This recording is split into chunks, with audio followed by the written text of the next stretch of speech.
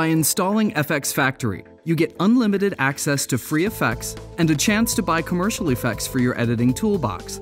You can find FxFactory located in your Applications folder. In the Effects Management window, you can see all the products that are installed. Activating and deactivating products is simple. Just check or uncheck the checkbox next to the effects icon. That way, you can decide what FxFactory effects will show up in Final Cut Pro 10, Motion, Adobe After Effects, or Premiere. You also have the option in the Actions menu to enable all products and disable trial products. For these changes to take effect, you'll need to relaunch your host applications if they're running.